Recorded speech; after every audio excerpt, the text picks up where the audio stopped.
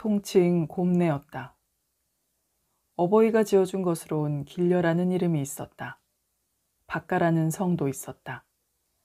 정당히 부르자면 박길녀였다. 그러나 길려라는 이름을 지어준 부모부터가 벌써 정당한 이름을 불러주지를 않았다. 대여섯 살 나는 때부터 벌써 부모에게 곰내라 불렸다. 어렸을 때부터 어머니가 어린애를 부담고 늘 곰내, 곰내 하였는지라. 그 집에 다니는 어른들도 저절로 곰내라 부르게 되었고, 이 곰내에게 길려라는 정당한 이름이 있는 줄을 아는 사람조차 드물게 되었다. 곰내 자신도 자기가 늘 곰내라는 이름으로 불렸는지라 제 이름이 곰내인 줄만 알았지 길려인 줄은 몰랐다. 그가 여덟 살인가 났을 때 먼 일가 노파가 찾아와서 그를 부름에 길려야 하였기 때문에 곰내는 누구를 부르는 소린지 몰라서 제 장난만 그냥 하고 있었다. 그러다가 그 사람이 자기 쪽으로 손을 벌리며 그냥 길려야 길려야 이리 오너라 하고 연방 부르는 바람에 비로소 자기를 부르는 소린 줄을 알았다. 그러고는 그 사람에게로 가지 않고 제 어미에게로 갔다. 엄마, 엄마, 대 사람이 나보고 길레라 그래. 길레가 뭐요? 남의 이름도 모르고 우습구나, 야. 어머니가 곰내를 위하여 변명하였다. 이 엠나이 어른 보고 그게 뭐야? 엠나이도 하도 곰통같이 굴어서 곰내라고 건댔다오. 이 엠나이 좀 나가 놀아. 히, 곱다고 곱내디? 곰통 같다고 곰낼까? 곰통 같으면 곰통내디? 사실 계집애가 하도 곰동지같이 완하고 억세기 때문에 곰내였다. 얼굴의 가죽이 두껍고 거칠고 손과 팔의 마디가 완장하고 클 뿐 아니라 가슴이 턱 벌어져 있고 왁살스럽고 그 목소리까지도 거칠고 뚝하였다. 머리카락까지도 굵고 뻣뻣하였다. 그에게서 억지로라도 여자다운 점을 찾아내자면 그것은 그의 잠꼬대뿐이었다. 잠꼬대에선 그래도 간간 가냘픈 소리며 아기를 업고 싶어하는 본능이 보였다. 그 밖에는 여자다운 점은 털어 끈 만큼도 없었다. 이름이 길려라 하지만 길하다든가 실하다든가 한 점은 얻어낼 수가 없었다. 곱다는 곰내가 아니오. 곰동지 같다는 곰내야말로 명실이 가진 그의 이름이었다. 젖떨어지면서부터 농토에 나섰다. 농토래야 빈약한 것으로 풍년이나 들면 간신히 그의 식구, 아버지 어머니 곰내, 이렇게 단 세 사람의 굶주림이나 면할 정도의 것이었다. 곰내가 농토에 나서면서부터는 어머니의 부담이 훨씬 줄었다. 그의 아버지라는 사람은 농군답지 않은 게으름뱅이에 기력도 적은 사람이어서 보잘려지 없는 소위 망난이었다. 술이나 얻어먹고 투전판이나 찾아다니고 남의 집 옆에 내나 담 넘어 엿보러 다니는 사람이었다. 농사 때엔 단 내외의 살림이라 할 일 없이 농터에 나서긴 하지만 손에 흙을 대기를 싫어하고 게다가 기운이 없어 조금 힘든 일을 하면 숨이 차서 당하지를 못하고 게으름 꾀만 가득 차서 피할 궁리만 공교롭게 하는 사람이었다. 그런지라 아주 쉽고 가벼운 심부름 이상은 하지 않기도 하였거니와 시킨 대자 감당도 못할 위인이었다. 대여섯 살 나서부터 농사에 어머니에게 몸 내놓고 조력한 곰내가 훨씬 도움이 되었다. 힘과 기운으로도 벌써 아버지보다 승하였거니와 어린애답게 열이 있고 정성이 있었다. 그런지라 8, 9세 때는 벌써 농군으로서의 한 몫을 당해냈고 농사의 눈치도 어른 등 떠먹으리만치 열렸다. 곰내가 13살 난 해에 그의 게으름뱅이 아버지가 죽었다. 이 가장의 죽음도 그 집의 경제상엔 아무 영향도 없었다. 극단적으로 말하자면 한 식구 줄었으니 그만치 심이 폈달 수도 있었다. 살아있대야 곡식만 소비할 뿐이지 아무 도움도 없던 인물이라 없느니만 못하였다.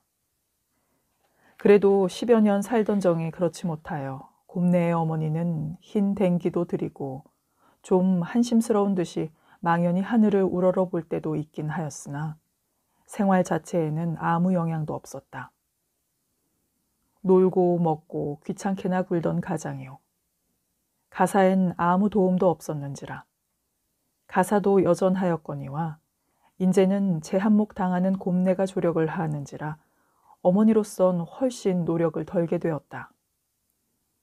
눈치 있는 곰내가 앞장서서 일하는 것을 어머니는 도리어 보고 있기만 할 때가 많았다. 열다섯 살에 어머니마저 세상을 떠났다. 세상 보통의 처녀로선 아뜩한 일이었다. 빚은 주는 사람이 없었으니 빚은 없었지만 남기고 간 것이란 것은 손 나부랭이와 부엌 물건 두세 가지, 해진 옷 두세 벌 밖에는 아무것도 없는 씻은 듯한 가난한 살림에 이 집안의 큰 기둥 어머니까지 넘어진 것이다. 그러나 간 나서부터 여유라는 것을 모르고 지낸 곰내는 이 점으로는 낭패하지 않았다. 다만 보잘것없는 밭 나부랭이지만 그래도 그것을 얻어붙이던 것은 어머니의 면의 덕이라.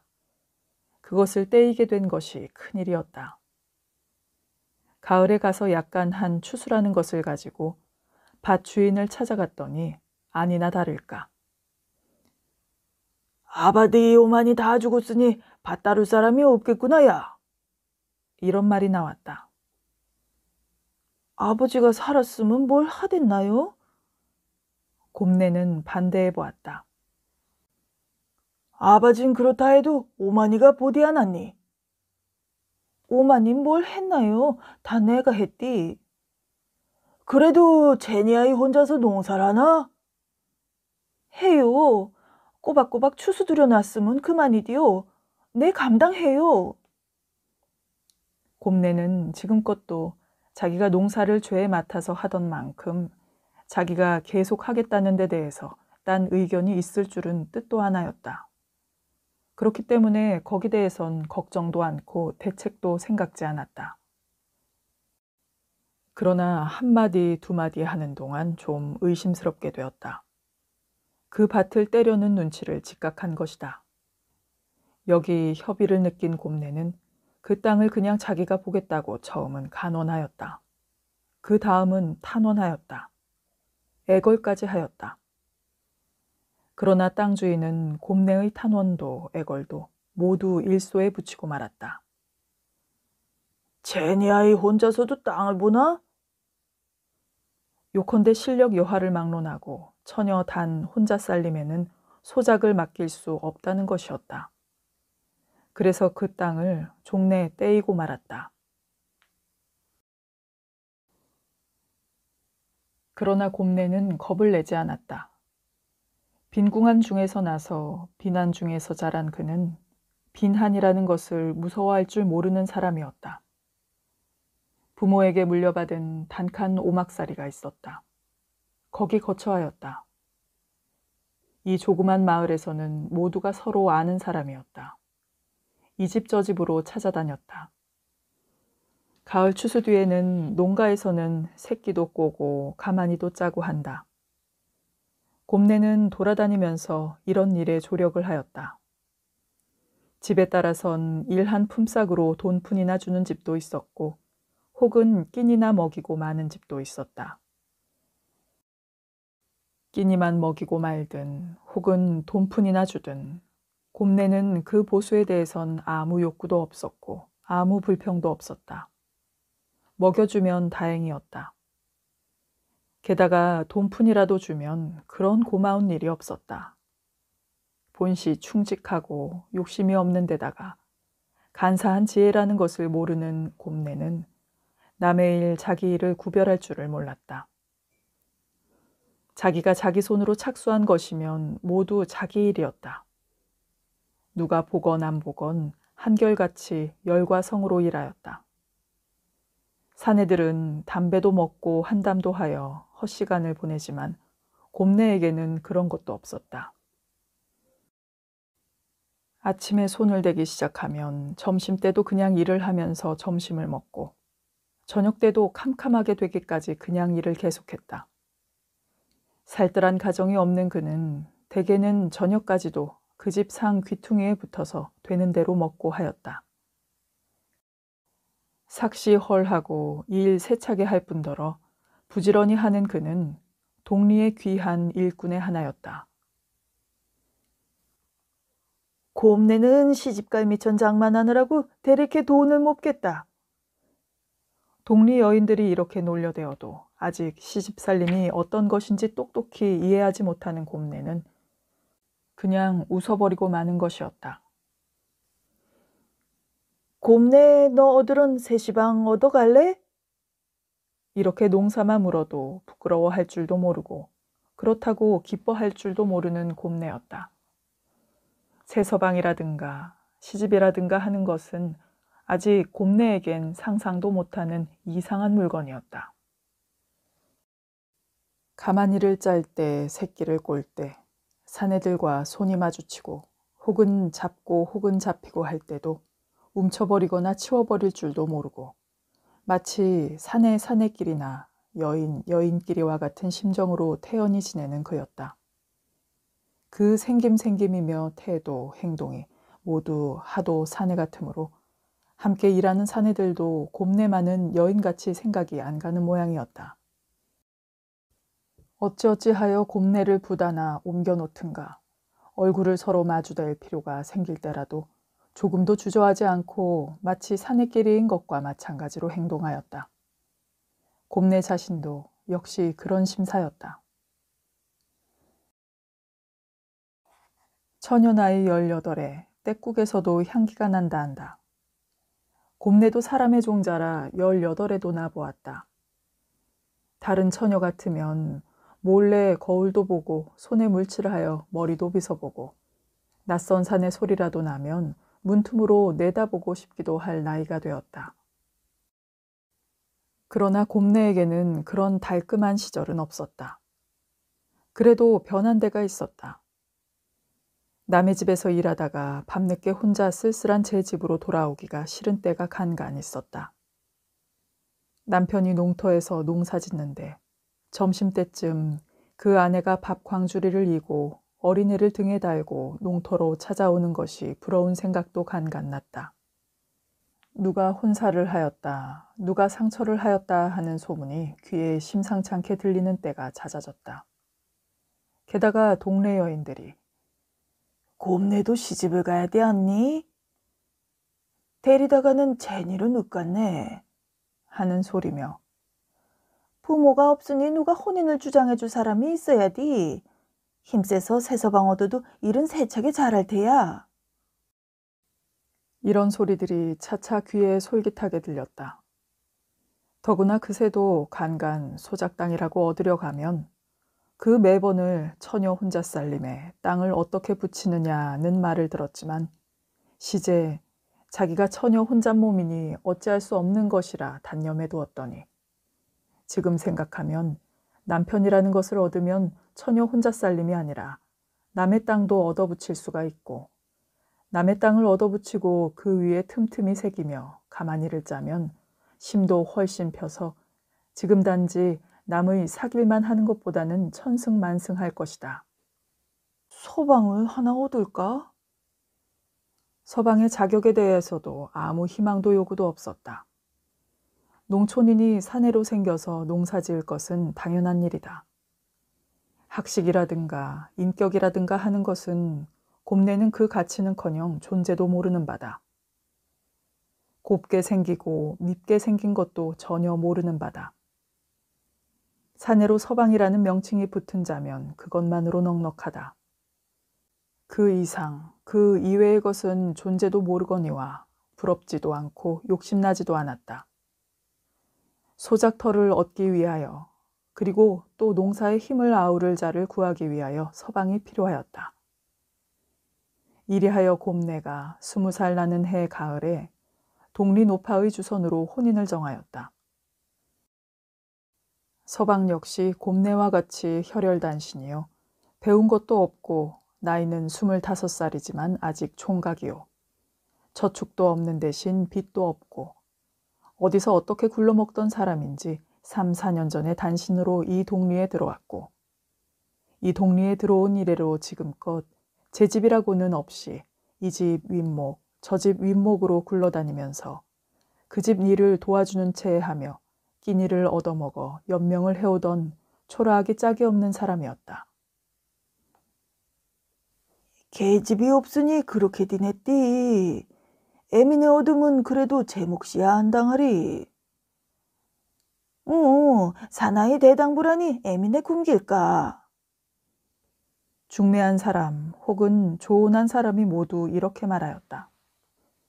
곰내의 생각으로도 산에 한 사람이 더 있으면 그만치 심히 펼 것으로 어서 성혼하면 생활이 좀 넉넉해질 것으로 믿었다. 섣달의 품삯을 세매받아 옷 한 벌을 장만해가지고 정월에 들어서 길이를 택하여 성례하였다. 신혼의 재미는 꿀과 같다 한다. 그러나 곰내에게 있어선 생활상이고 감정상이고 아무 변화도 없었다. 혼자 자던 방에 혼자 자던 이불 속에 웬 사내 한 사람이 더 들어올 뿐이었다. 신혼 첫날 밤은 동리 여인들이 와서 저녁을 지어주고 이부자리를 펴주었다. 남이 지은 밥을 먹고 남이 깔아준 이부자리에서 잔다는 것은 곰내가 철든 일에 처음 당하는 경험이었다. 뿐더러 여인들은 한사코 곰내에게 못하게 하고 자기네들이 도맡아 보아주었다. 새색시도 일하나? 모두들 곰내를 상전이나 모시듯 서둘렀다. 그러나 그 밤을 지내고 이튿날부터 곰내의 생활은 옛날대로 돌아갔다.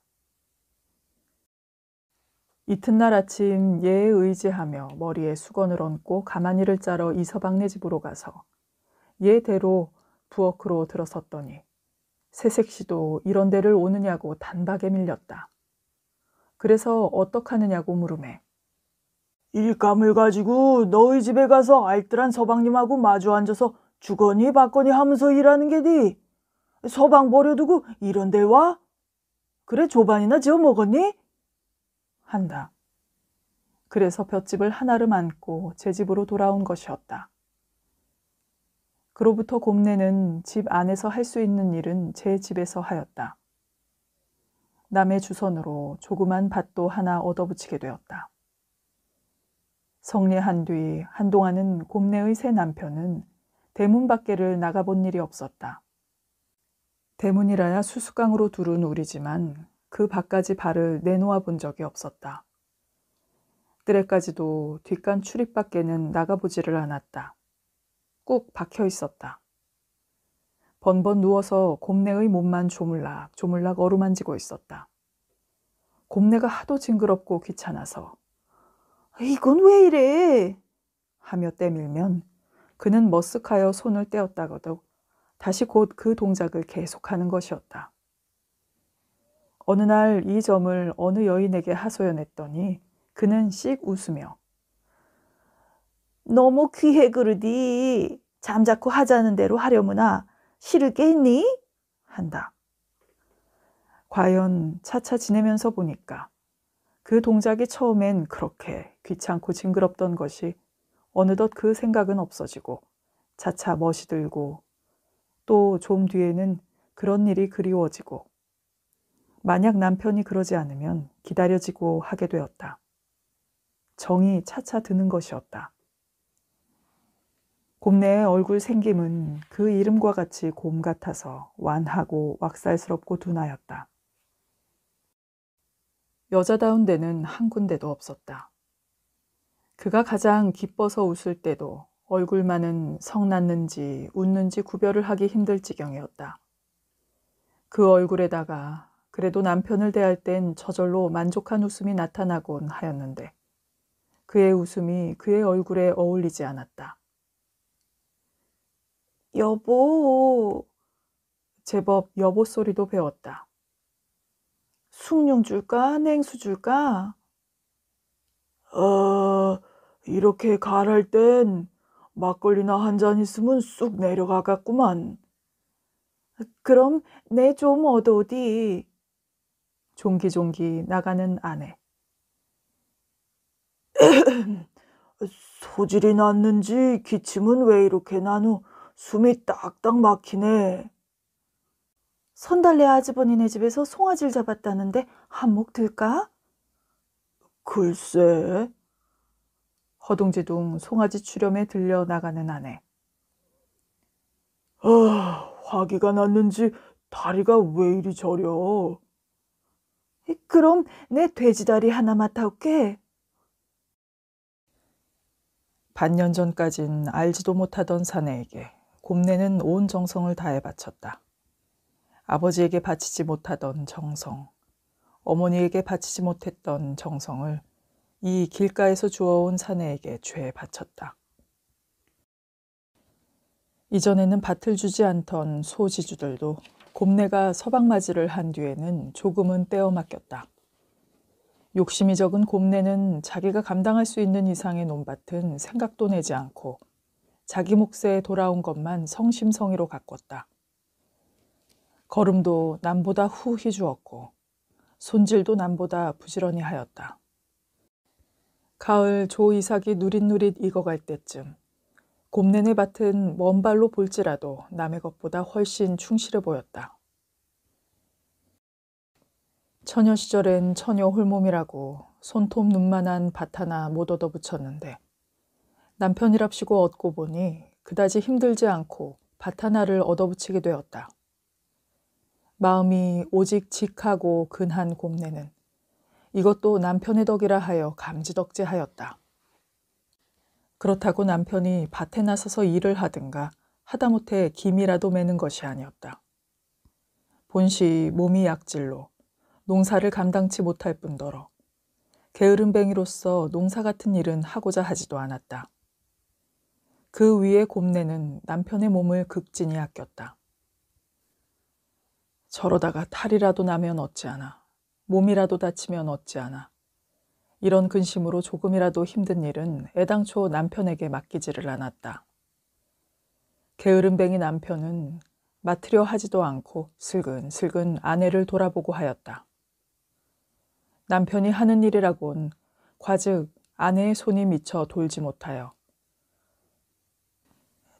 저것 좀 이리 던져주세요. 혹은 나 이거 하는 동안 요 끝을 꼭 누르고 있어요. 하는 등의 지극히 단순한 심부름뿐이었다. 곰내의 얼굴은 못생기고 또 못생겼다. 웬만한 사내 같으면 조금 떨어진다 해서 곁에 오지도 않을 만한 추물이었다. 남편도 코 아래 눈 두 알이 박혔음에 아내의 얼굴이 못생긴 것쯤은 넉넉히 알 것이다. 그러나 그는 이 아내를 버리지를 못하였다. 이 아내를 버렸다가는 평생을 호라비로 지낼 수밖에 다시 아내 얻을 가망이 없었다. 사내는 투전꾼이었다. 투전꾼이라지만 협기 있고 쾌나마형의 투전꾼이 아니오.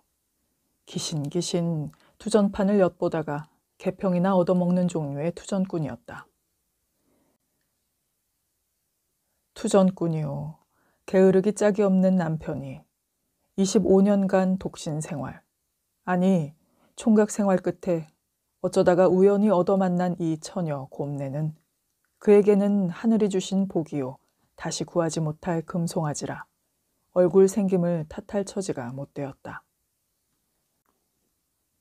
얼굴은 어떻게 생겼든 간에 여인은 여인이요.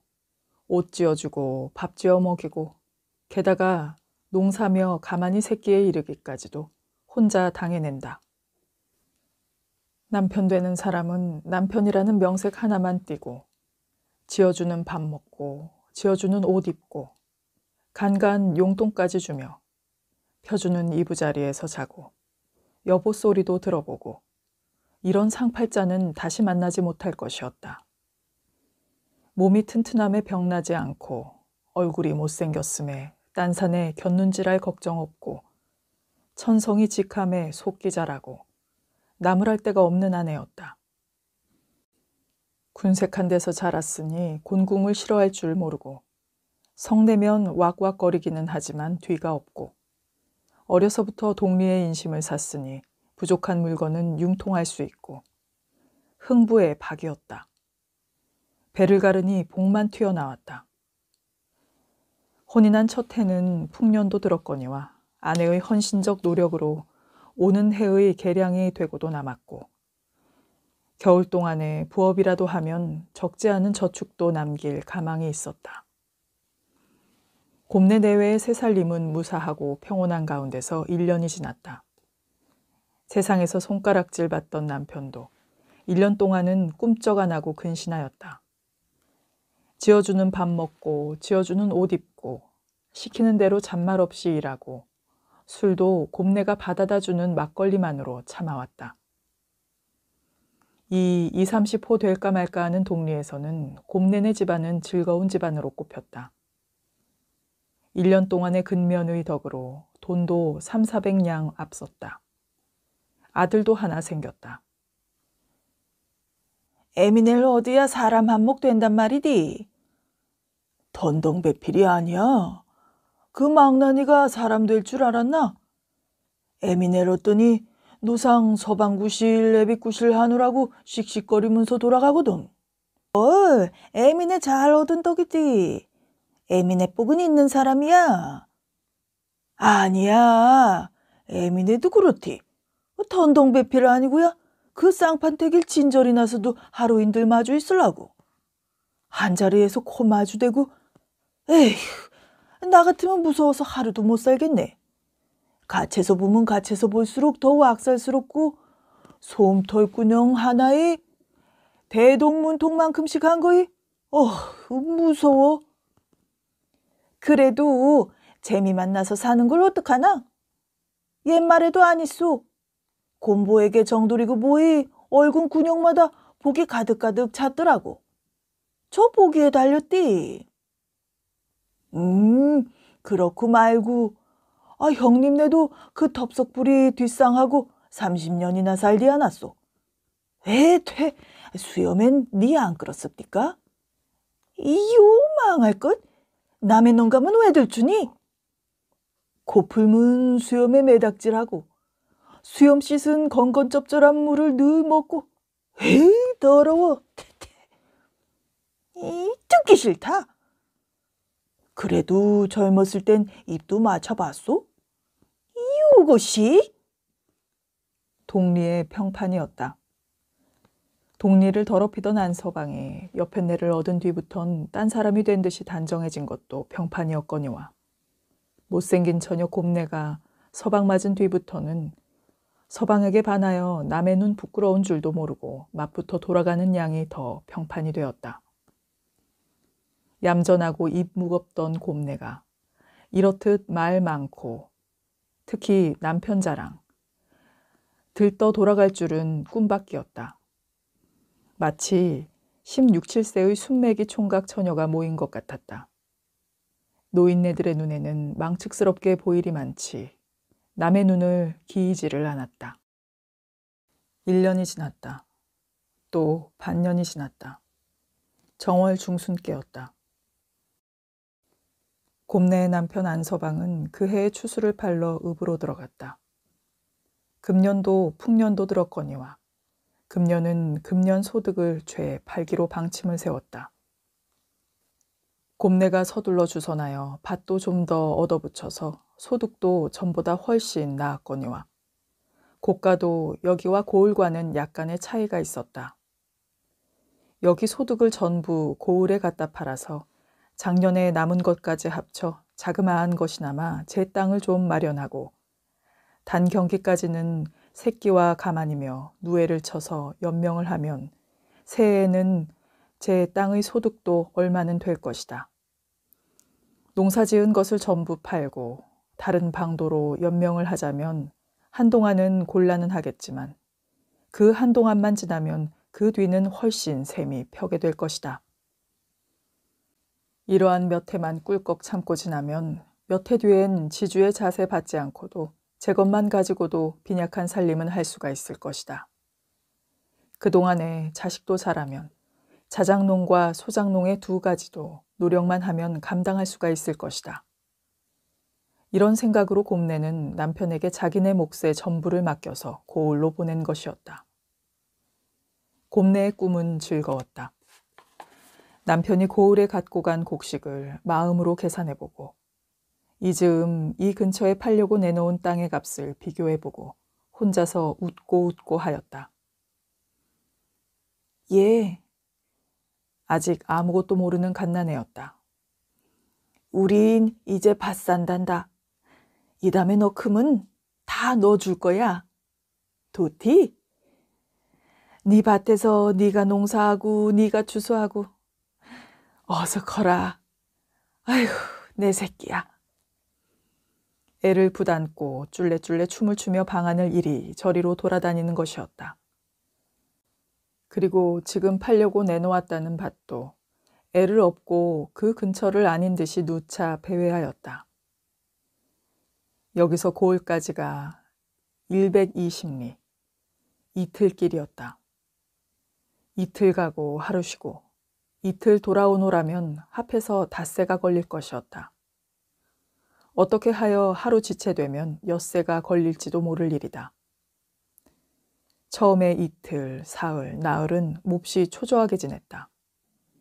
아직 기한이 아니니 돌아올 바는 아니지만 마음은 한량 없이 초조하였다. 혹은 그 사람도 마음이 급하여 다른 박질 쳐가서 하루에 득달하고 전행 그 밤으로 흥정이 되고 이튿날 새벽에 그곳서 떠나 당일로 돌아오면 이틀이면 될 것이다. 가능성 없는 이런 몽상까지도 품어보았다. 쓸데없는 일인 줄 뻔히 알면서도 돌아오는 길 쪽으로 20여리를 찬바람을 안고 갓난애를 업고 마주 나가 한나절을 기다려보기도 하였다. 동전 한 푼이 새로운 그는 촐촐 굶으면서 끊어지는 듯 아픈 등허리를 두드려가며 한나절을 기다렸다. 돌아올 때는 그 헛되이 보낸 하루를 단 몇 발이라도 새끼를 꼬았던 편이 훨씬 좋았을 것이라고 후회를 했지만 이튿날 하루를 쉬고 쉰대야 역시 집에서 일을 하였지만 아무튼 또 그 이튿날은 또 다시 나가보았다. 빨리 오면 이날쯤은 올 듯도 하였다. 그러나 그날도 역시 헛걸음이었다. 또 그 이튿날은 정수로 따지자면 당연히 올 날이라 곰내는 물론 또 나갔다. 시장에서 돌아올 남편을 위하여 엿을 반근이나 사가지고 이른 새벽에 나갔다. 사람 기다리기 같이 어려운 노릇은 없었다. 그새 며칠은 안 올 줄 뻔히 알면서도 행여나 하여 기다렸다. 이날은 당연히 올 날이므로 더 가슴이 답답하였다. 예, 아버지가 오늘 온다오. 물동이를 이고 지나가다가 곰내의 앞에서 동이를 다시 바로 잇는 여인에게 곰내는 밑도 끝도 없이 말을 붙였다. 그 여인은 물동이를 인 채로 곁눈으로 의아한 듯이 곰내를 보면서 대답도 안 하고 지나가 버렸다. 그 근처 어디 우물이 있는 양 하여 물동이인 여인들이 연락부절로 그의 앞을 오고 간다. 그 매 사람에게 향하여 곰내는 제 남편이 오늘 돌아오는 것을 자랑하고 싶었다. 야속한 해는 중천에서 서쪽으로 차차 기울었다. 기울면서 차차 바람이 일기 시작하였다. 등에 갓난에는 추운지 악을 쓰면서 울어댄다. 자장 자장 너 용타. 아버진 지금 말고개쯤 왔겠다. 아버지 오면 사탕도 주고 외떡도 주고. 자장 자장 너 용타. 연하여 등에 아이를 들추며 달래며 왔다 갔다 하였다. 울고 울고 울던 끝에 갓난에는 기진하였는지 울음을 멈추고 잠이 들었다. 그러나 이때는 어린애 대신 곰내가 통곡하고 싶게 되었다. 아무리 짧은 해라 하지만 그 해도 벌써 산어리의 절반이 넘었다. 어린애를 업고 왔다 갔다 하는 동안 몸집은 혹은 동편으로 혹은 서편으로 일정치 않았지만 눈만은 잠시도 북편 쪽 대로에서 떠나본 적이 없었다. 남편이 오려면 반드시 그 길로 해서야 온다. 지름길도 없다. 곁길도 없다. 가장 가까운 단 한 가락의 길이다. 그 길에서 한때도 헛눈을 판 일이 없거늘 남편은 아직 오지 않는다. 열 번만 더 갔다 오디.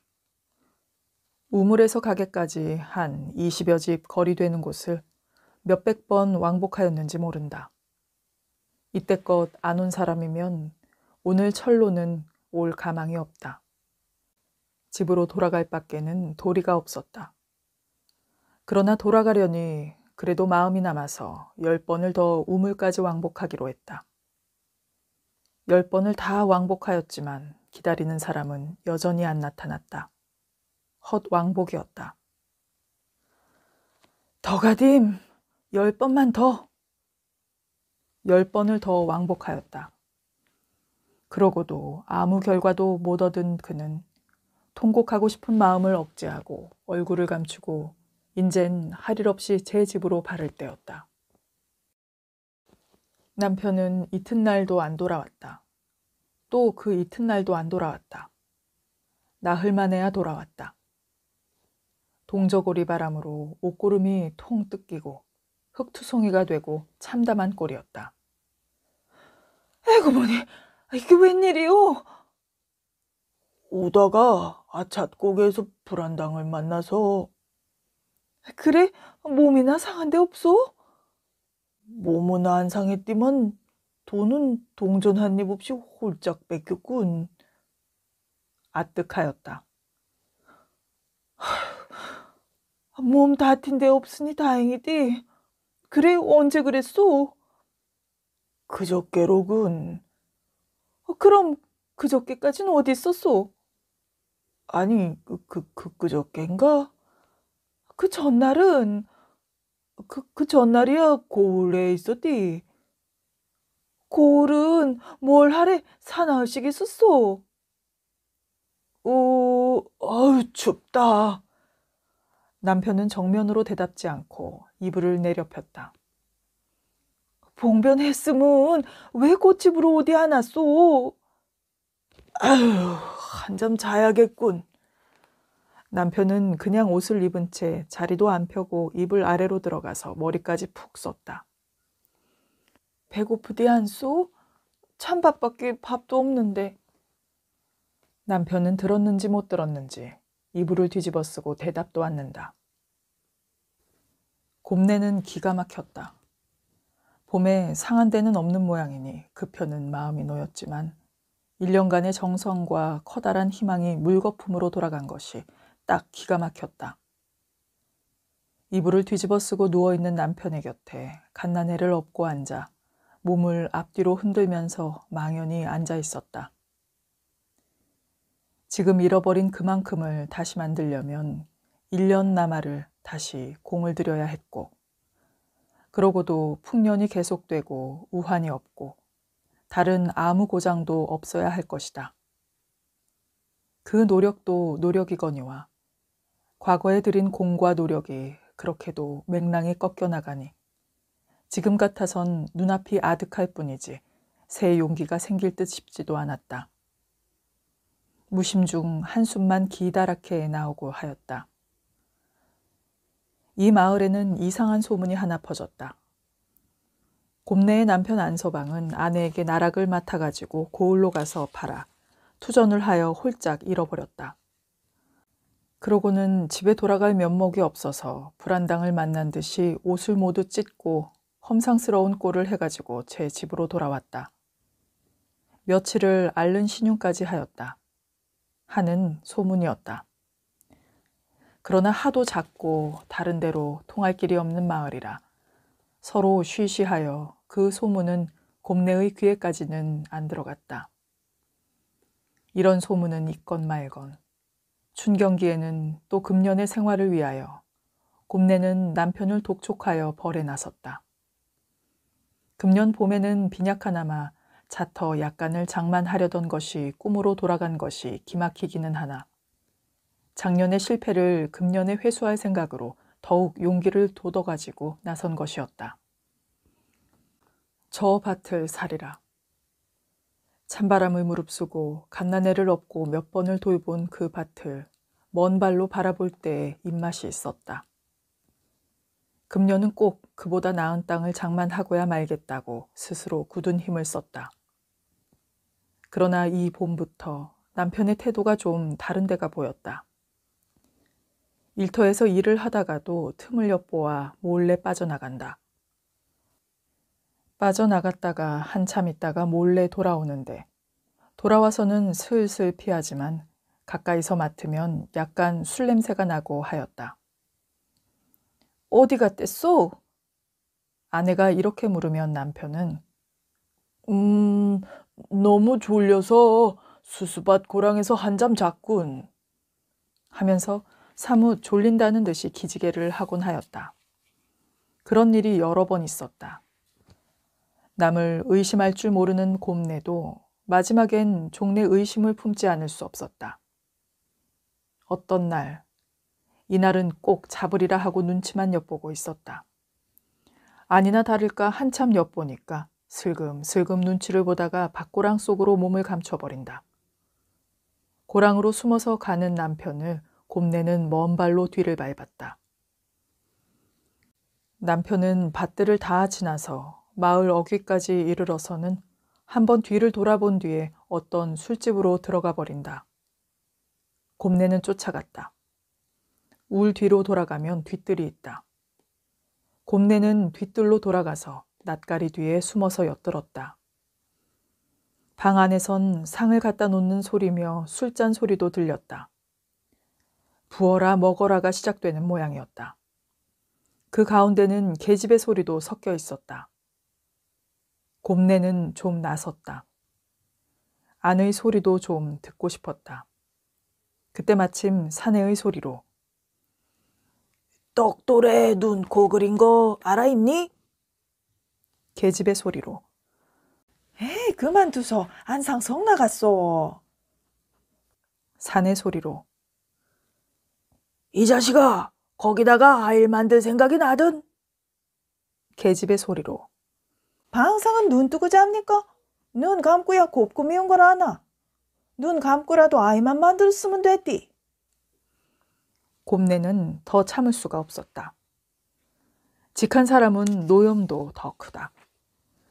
잠든 애를 집 위에 가만히 내려놓는다. 양팔을 높이 걷었다.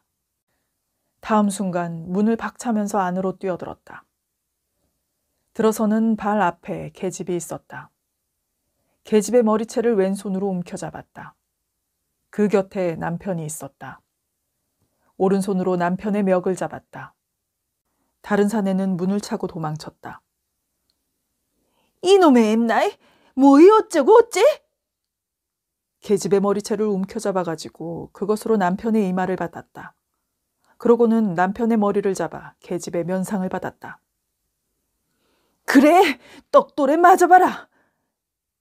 이름 맞추 곰같이 성난 그는 곰같이 좌충우돌하였다. 약골의 남편, 술장사 계집 모두가 이 성난 곰을 당할 수가 없었다. 여보, 어, 마누라. 내가 떡돌이디? 왜 마누라야? 내, 내가 언제 그럽디까? 여보, 마누라. 여보 마누라라 불리는 것은 곰내의 생전 처음이었다. 성난 가운데 반가웠다. 내가 떡돌이면 넌 떡맨가? 여, 여보 마누라 내, 내가 언제 그럽디까? 내가 우리 마누라를 왜 험굴까? 방금 한 건 뭐이고? 그러나 곰의 우뚝벨은 벌써 적지 않게 식은 상태였다. 마누라, 내가 하도 목이 텁텁해서 막걸리라도 한 잔 하려고 왔더니 그 망할 놈들이 그런 소리를 하는구만. 나도 분해서 그놈들하고 한판 해볼랬는데 마누라 잘 왔어. 어, 내 속이 다 시원하군. 이 엠나이 매 맞은 게 알끈하디? 그게 무슨 소리라고 그냥 한담. 아, 자 갑시다. 우리 당손이는 어디 있어? 이리하여 내외는 그 집에서 나왔다. 그날은 무사히 평온하게 일이 끝장지었다. 그러나 남편의 못된 버릇은 좀채 고쳐지지 않았다. 본시 곰내와 만나기 전부터 깊이 젖었던 버릇이었다. 곰내와 만난 뒤 한동안은 스스로 근신함인지 혹은 새 아내를 맞은 체면상 억지로 참음인지 또는 새 아내가 무서워서 그만둠인지 한동안은 못된 데 다니는 버릇이 없어졌다. 그러던 것이 곡식을 팔러 고을에 들어간 땐 우연히 또다시 접촉하기 시작해서 그 뒤에는 다시 집에 와서도 틈틈이 아내의 눈을 기이면서 그 방면으로 다녔다. 한 번 술집에서 들켜서 큰 소란을 일으키고 아내를 달래 집으로 돌아오면서도 아내를 속여서 자기는 누구 만날 사람이 있으니 잠깐 돌아가겠다고 아내만 돌려보내고 자기는 그 술집으로 다시 돌아섰던 것이었다. 그 뒤에도 돈만 생기든가 안 생기면 아내의 주머니를 뒤져서까지라도 틈틈이 그 방면으로 다녔다. 그것으로 아내와 싸우기도 수없이 싸웠고 기력이 약한 그는 싸울 때마다 아내에게 눌려 숨을 허덕거리며 다시는 쇠아들 치고 그런데 안 다님하고 맹세하고 하였지만 그 맹세를 하면서도 어디 비어져 나갈 기회나 틈새를 생각하는 그였다. 그들의 살림은 나날이 빈약해 가고 나날이 영락되어 갔다. 못된 곳에 출입하는 도수가 잦아지면서 남편은 일손을 다시 잡지 않았다. 못된 데 출입하는지라 돈에 쓸 때가 더 많아진 그는 어떤 때는 아내를 달래고 어떤 때는 속이고 어떤 때는 싸우고 어떤 때는 훔치기까지 해서 제 용돈을 썼다. 아내는 살을 깎고 뼈를 갈아가면서 일했다. 남편이 다시 일터에 나서지 않는지라 남편의 노력까지 저 혼자서 맡아서 하였다. 푼푼히 돈이 앞설 때도 있었다. 남편만 없으면 좀 앞세워 놓고 살아갈 수도 있었다. 그러나 돈에 대한 불가사리 남편이 등 뒤에 달려 있는지라 어쩔 도리가 없다. 마음이 왈왈 하고도 직한 곰내는 아무리 남편을 밉게 보고 다시는 그의 말을 안 믿으리라 굳게 다짐하지만 남편이 들어와서 그의 등을 쓰다듬으며 양간한 소리로 여보 마누라 마누라 하면 그의 굳게 먹었던 결심도 봄날 눈과 같이 사라지고 마는 것이었다. 그리고 깊이 감추었던 주머니를 꺼내 남편 마음대로 쓰라고 내맡기는 것이었다. 남편이 나간 뒤 텅 빈 주머니를 만져보며 스스로 후회하고 다시는 안 속으리라고 또다시 결심하지만 그 결심할 때조차 이 결심이 끝끝내 버티어질지 못 질지 스스로 자신이 없었다. 어떤 날 곰내는 고을 장에 갔다. 언제든 그는 장에 갈 때는 예전에 집에서 조떡을 만들어 가지고 가서 그것으로 요기를 하는 것이었다. 그날도 집에서 남편이 하도 졸음으로 돈 2원을 주고 나섰던 것이었다. 주기는 했지만 장에까지 와서 보니 아까웠다. 자기는 15전어치 떡을 사 먹기가 아까워 집에서부터 조떡을 만들어 가지고 오고 목이 매는 조떡을 물 한 방울 없이 먹는데 남편은 좋다구나 하고 흥청이 술만 먹고 있을 생각을 하니 자기가 아끼는 것이 어리석고 헛일 같았다. 시장하여 보따리를 펴고 조떡을 꺼내었다. 목이 메고 텁텁한 위에 속조차 심란하여 먹기 싫은 것을 장난삼아 한 입, 두 입 먹고 있노라니까 무엇이 곁에서 종알종알한다.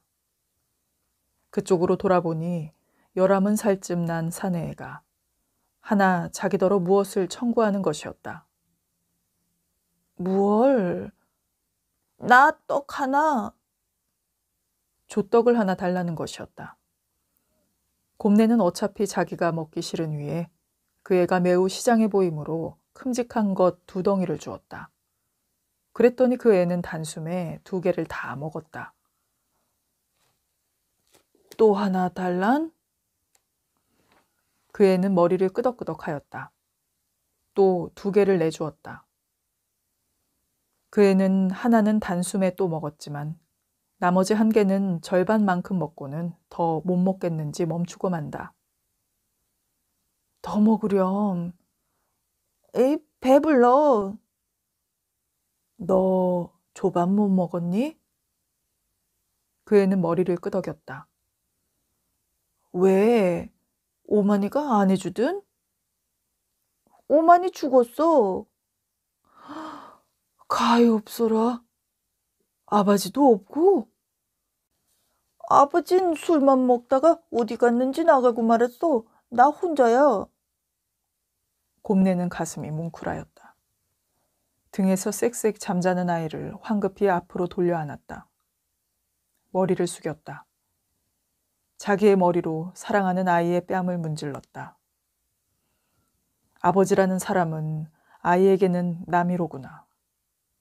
술값 2원은 아깝지 않되 어린애 사탕값 1전은 아끼는 자기의 남편.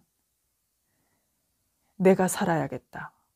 내가 살아야 이 아이가 산다.